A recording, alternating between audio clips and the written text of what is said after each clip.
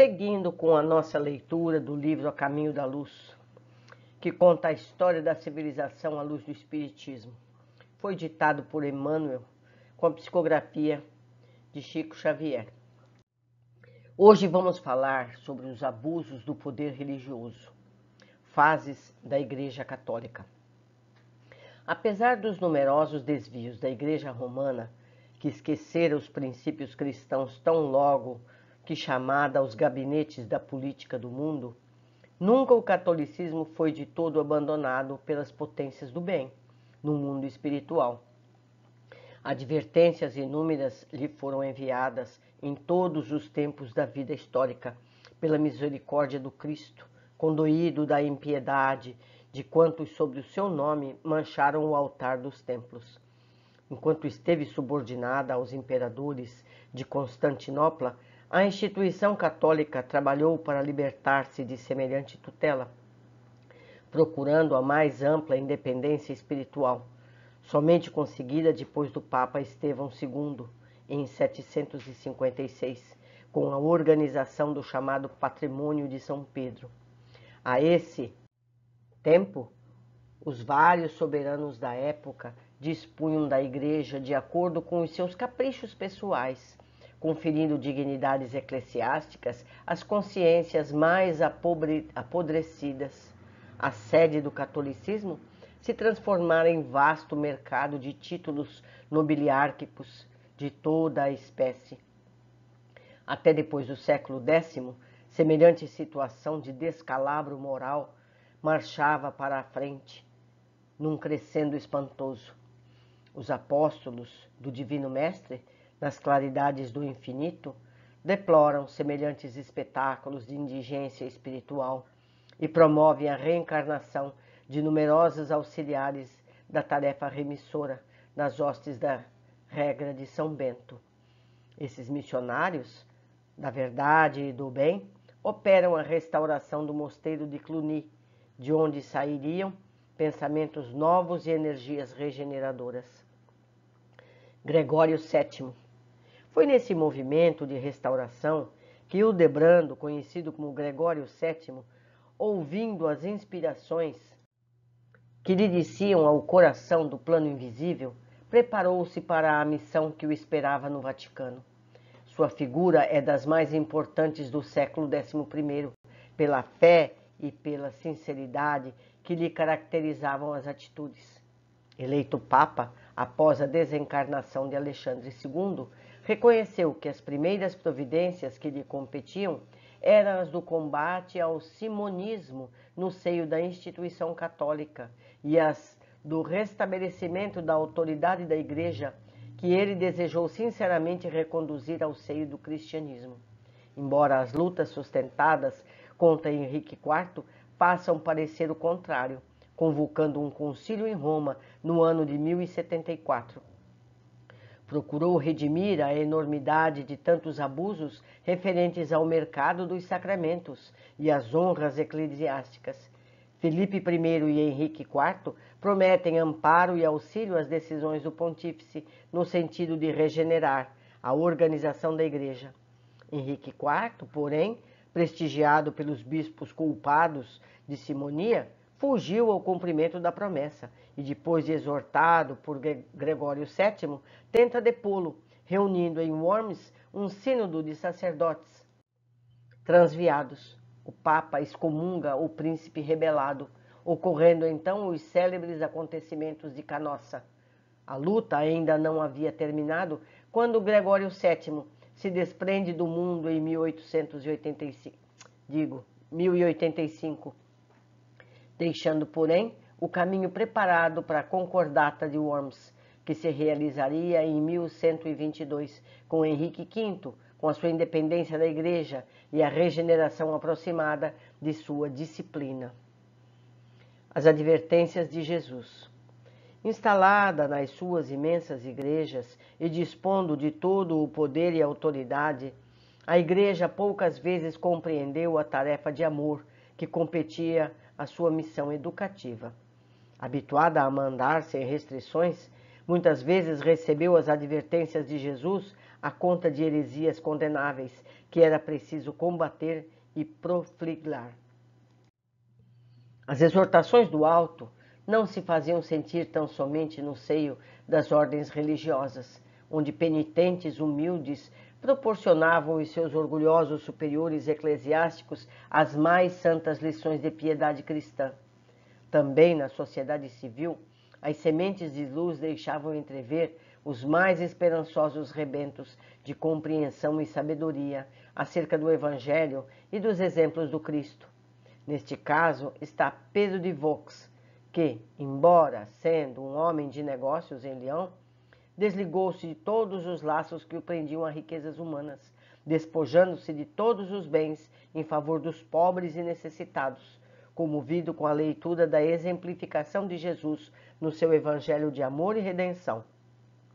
Este homem extraordinário, a quem fora cometida a missão de instrumento da vontade do Senhor, mandou traduzir os livros sagrados para a leitura pública e, junto de outros companheiros que passaram a história com o nome de valdenses, iniciou amplo movimento de pregações evangélicas à maneira dos templos apostólicos.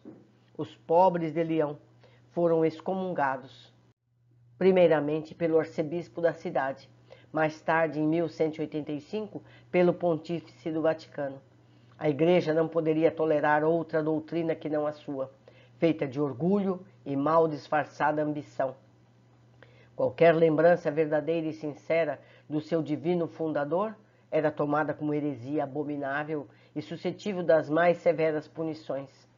A verdade, porém, é que, se os valdenses foram caluniados pelas forças católicas, suas pregações e apelos nunca mais desapareceram do mundo desde o século XI, porque com vários nomes as suas organizações subsistiram na Europa até a Reforma, não obstante os guantes de ferro da Inquisição. Francisco de Assis. Os apelos do alto continuaram a solicitar a atenção da Igreja Romana em todas as direções as chamadas heresias brotavam por toda parte onde houvesse consciências livres e corações sinceros. Mas as autoridades do catolicismo nunca se mostraram dispostas a receber semelhantes exortações. Havia terminado, em 1229, a guerra contra os hereges, cujos embates atravessavam o espaço de 20 anos, quando alguns chefes da igreja consideraram a oportunidade da fundação do Tribunal da Penitência, cujos projetos já muito preocupavam o pensamento do Vaticano. É muita tristeza, né, amigos? Ver tanto ódio dentro de onde deveria ter apenas amor e fraternidade. Mascarar-se-ia o cometimento com o pretexto da necessidade de unificação de, da Igreja, mas a realidade é que a instituição desejava dilatar o seu vasto domínio sobre as consciências Todavia, se a Inquisição preocupou longamente as autoridades da Igreja antes da sua fundação, o negro projeto preocupava igualmente o espaço onde se prestavam providências e medidas de renovação educativa. Por isso, um dos maiores apóstolos de Jesus desceu a carne com o nome de Francisco de Assis. Seu grande e luminoso espírito resplandeceu próximo a Roma, nas regiões da Úmbria, desolada. Sua atividade reformista verificou-se sem os atritos próprios da palavra, porque o seu sacerdócio foi o exemplo na pobreza e na mais absoluta humildade.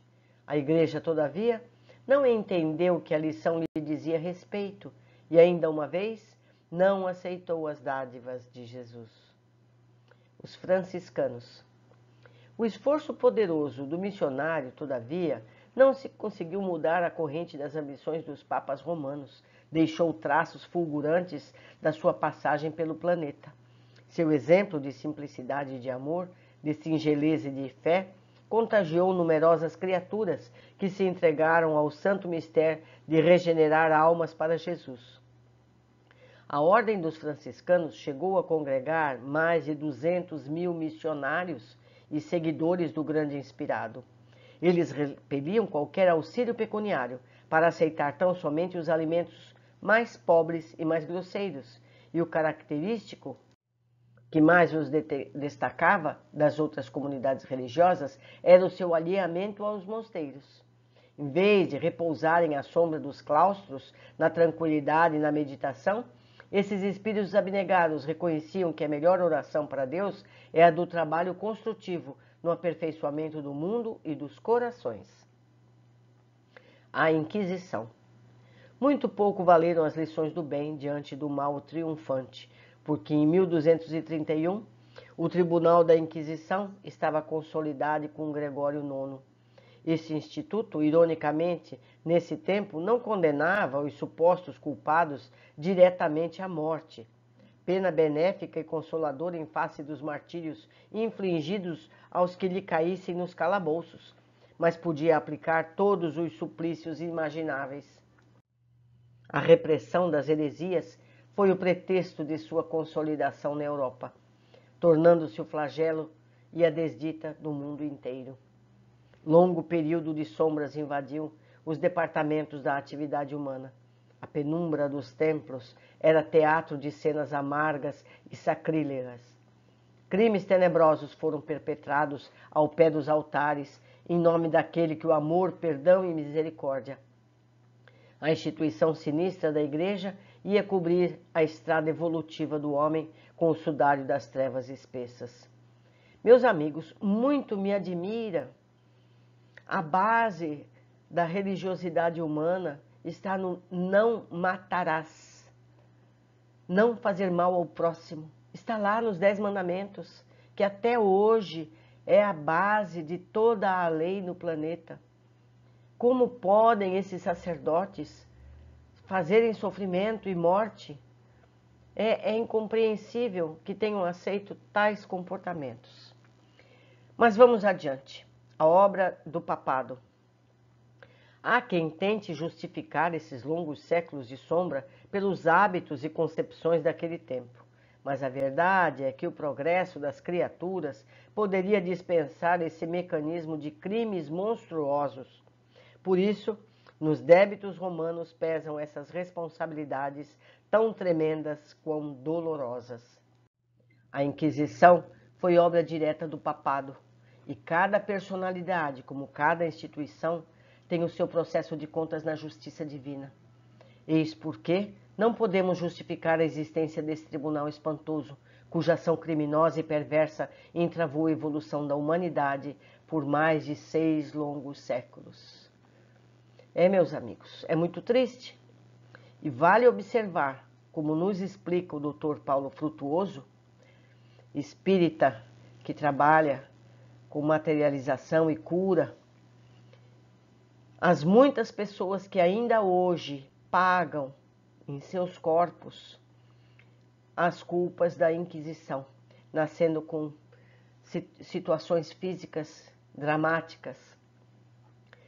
É muito, ele mesmo se diz um, uma dessas pessoas que optou por redimir-se através da cura e não do sofrimento em seu próprio corpo. Pesquisem sobre, vocês vão se admirar. Foi uma alegria estar com vocês. Eu aguardo todos no próximo capítulo.